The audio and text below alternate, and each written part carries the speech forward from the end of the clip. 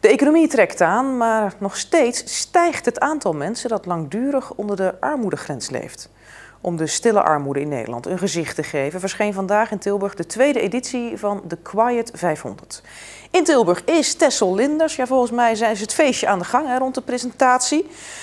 Um, is het probleem met armoede dan echt zo groot in Nederland? Ja, je zou het eigenlijk niet verwachten, Cindy, maar Nederland staat op de zesde plek als het gaat om de rijkste landen ter wereld. Dus is er sprake van armoede, denk je dan? Wel degelijk. En vooral die stille armoede, die armoede waar niemand over praat. Deze tweede editie van de Quiet 500 is een hele bijzondere editie. Er zit namelijk een speciale Quiet 500 Kids in. Want één op de zes kinderen in Nederland leeft in armoede. En om daar meer bekendheid aan te geven, of ons misschien wel gewoon met neus op de feiten te drukken, is dit initiatief een aantal jaar geleden genomen. Zo'n glossy, de tegenhanger van de quote 500, speciaal voor mensen die in armoede leven. Ja, is dat dan ook echt het doel of zit er meer achter? Ja, aandacht en aanpak zou je kunnen zeggen. Drie jaar geleden kwam die eerste Quiet 500 uit. De initiatiefnemers hebben toen alle mensen die in de quote 500 staan, alle rijkste mensen van Nederland, zo'n editie gestuurd. Uh, met de vraag: help ons. Jullie zijn ergens heel succesvol in, anders was je nooit zo rijk geworden. Je bent ergens goed in. Probeer ons nou te helpen om die armoede in Nederland aan te kunnen pakken. Twee van die miljonairs hebben daar uiteindelijk gehoor aan gegeven. Dirk Lips is een van hen, de directeur van Libema. En die heeft uiteindelijk samen met die initiatiefnemers Quiet Society opgericht. Dat is een soort marktplaats met gesloten beurzen. Dat iedereen, bedrijven die mensen willen helpen, particulieren en ook arme mensen onderling, elkaar kunnen voorzien van hulp. En uh, ja, dat is nu bijna een jaar aan de gang. En dat is een mooi voorbeeld van hoe het ook kan.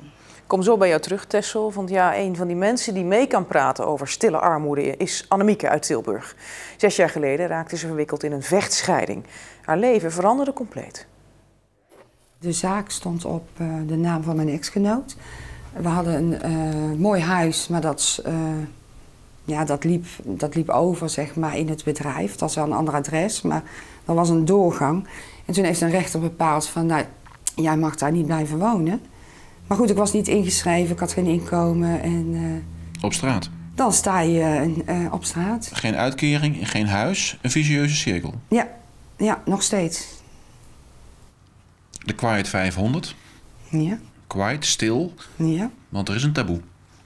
Ja, dat merk ik ook. Dit, uh, dit is wel een overwinning voor mij. Want gewoon mensen in mijn omgeving, die weten het natuurlijk. Maar heel veel mensen weten het niet. Ik loop er ook niet mee te koop. En waarom kies je er dan voor om toch je verhaal te doen in dit blad? Uh, het is me gevraagd. Toen heb ik erover nagedacht. En toen dacht ik van ja, ze doen heel veel voor mij. En er zijn natuurlijk zoveel mensen die in dezelfde situatie zitten.